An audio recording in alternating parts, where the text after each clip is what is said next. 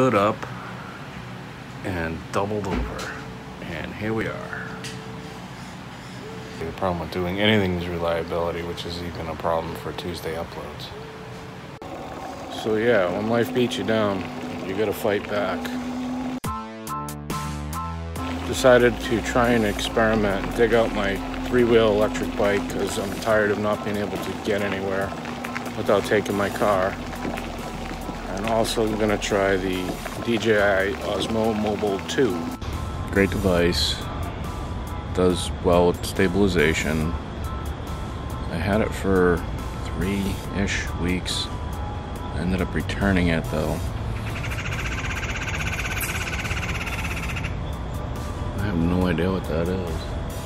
And I can't see it. And again, I get distracted.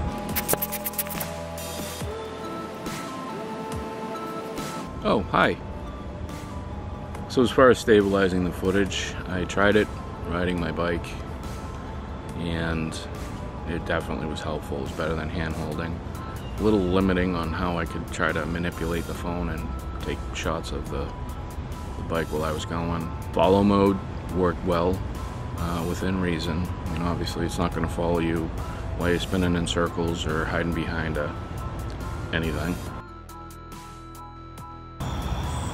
Now you track me.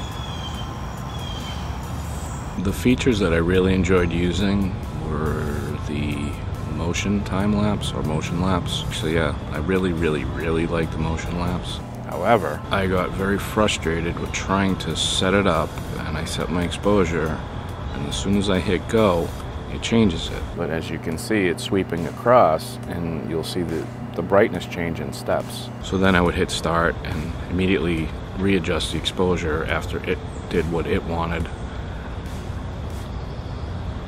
And because I'm going from like, you know, some trees to more sky or whatever, it would still change. It would still change my exposure, and it was driving me crazy.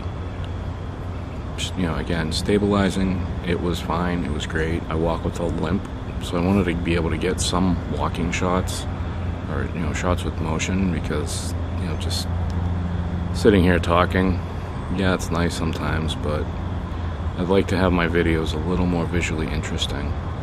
So that that's my whole thing with the gimbal. All I really want is motion lapse where I can accept, set my exposure. So yeah after after many frustrating attempts to to do a motion lapse with settings that I wanted it just the other thing that bugged me with the app was the fact that it doesn't save to your, your camera roll. So yeah, definitely want to try the Smooth 4. It's budget friendly, seems to have similar features, and hopefully the updates they made to the app will work better than early reports. I wish I could see it locally. I did see that B&H has a sale on it right now, so it's 119 for the black one. Uh, yeah, I'm definitely trying to keep it within a budget, but that brings up another point where I kind of get frustrated when I just want to use my phone to do what I need to do and trying to multitask.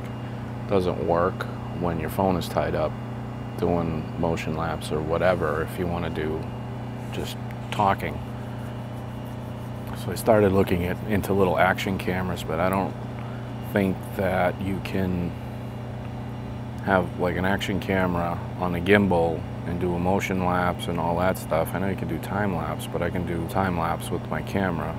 However, I actually tried doing time lapses with the M50 and with the 4K time lapse, my iPad and my iPhone, iOS in general, keep just tell me that there's an error.